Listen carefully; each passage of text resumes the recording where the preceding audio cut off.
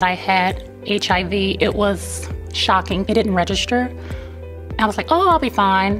But once I got home by myself, it was very um, humbling. It was very emotional. I'm so used to having an action plan.